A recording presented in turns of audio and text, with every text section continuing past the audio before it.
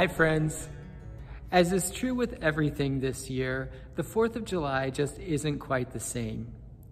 I know at our house we are missing the street fair and the fireworks and the parade and the rides in front of our house and the food. I especially like the stromboli. But most of all, we're missing our family and friends who would normally gather for the celebration. And so, as we've been doing, we continue to remember fondly, to adjust our expectations, and to find new and different ways to celebrate. Today, I thought it might be nice to spend some time praying for our country. So, I invite you to join me in a few moments of prayer. Holy God, creator of the universe and father of all humankind, Thank you for our country and its people. Thank you for our rich diversity of climates and landscapes, cultures, and ethnicities. Thank you for our freedoms and all who secure them. Thank you for our blessings and our responsibility to share them. Spirit of wisdom, move in the hearts and minds of our leaders from the president and Congress to governors and legislatures to mayors and city councils. Give them wisdom to discern the common good and the will to work for it.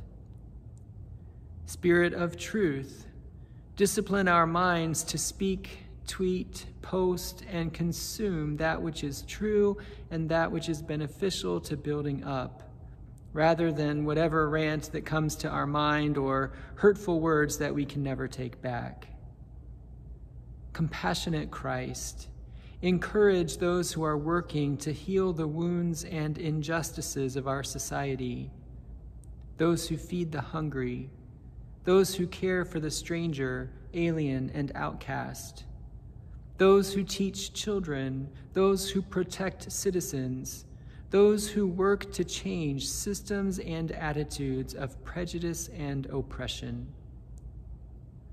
Reconciling Christ, bridge the gap between urban and rural, black and white, the employed and unemployed, the haves and the have nots, the political left and right, the powerful and the weak.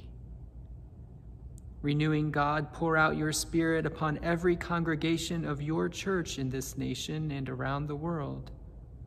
Uphold leaders and encourage members so that we will be both bold and brave and humble and kind. Forgive us, Lord, for the ways that we have failed you and each other. The list is long. We do not take forgiveness for granted we commit ourselves to making our church, our community, our country, and our world a place where grace, mercy, and peace abound. We commit ourselves to build your kingdom on earth as it is in heaven, as Jesus taught us to pray. Our Father, who art in heaven, hallowed be thy name. Thy kingdom come, thy will be done on earth as it is in heaven. Give us this day our daily bread, and forgive us our sins as we forgive those who sin against us. And lead us, not into temptation, but deliver us from evil. For thine is the kingdom, and the power, and the glory forever. Amen.